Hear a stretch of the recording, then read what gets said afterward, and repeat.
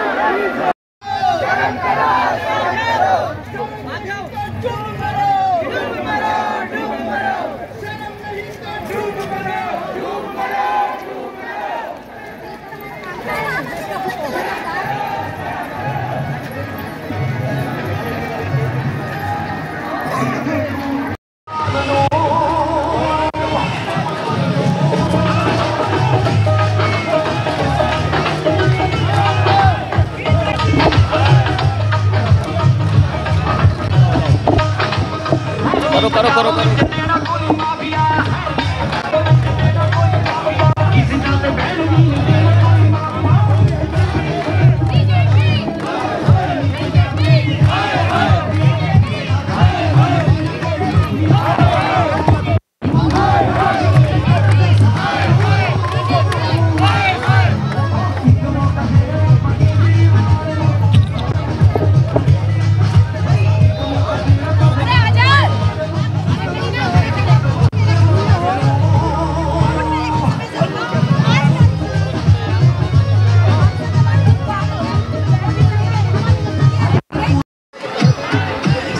Hello मैं अपने कार्यकर्ताओं से अनुरोध करूँगा कि जो लोग बैरिकेड पर गए हैं, उनको तुरंत वापस ले आए। आम आदमी पार्टी के सभी कार्यकर्ताओं से अनुरोध है कि जो लोग बैरिकेड पर गए हैं, उनको तुरंत वापस बुला लिया जाए।